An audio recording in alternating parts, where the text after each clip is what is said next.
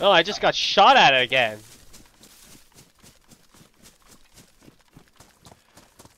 I'm trying to focus and you're like totally fucking distracting me.